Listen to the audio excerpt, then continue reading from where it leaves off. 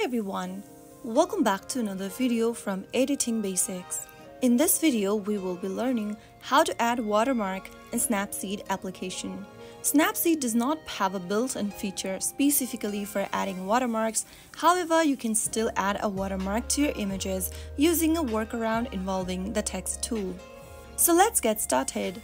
Launch open the Snapseed application and tap on the plus button in the middle of the screen and import an image you want to add a watermark to.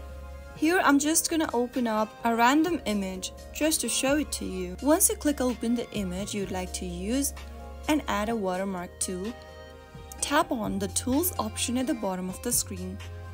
Now scroll down and tap on the text option which should be located at the very bottom. Once you select the text option, go ahead and double tap on the text and then add your watermark text such as your name, website or logo. After you do that, click on OK.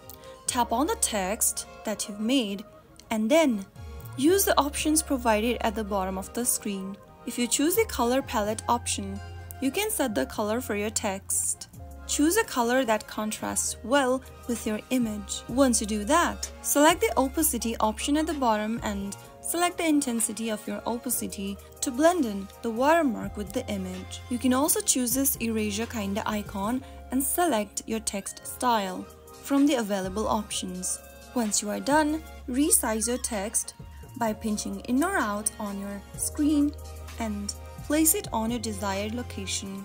After you are done positioning your text or watermark, tap on the tick mark at the bottom right hand corner and export your image by tapping on export and choose one of the save methods. And that is how you will be able to add watermark in Snapseed.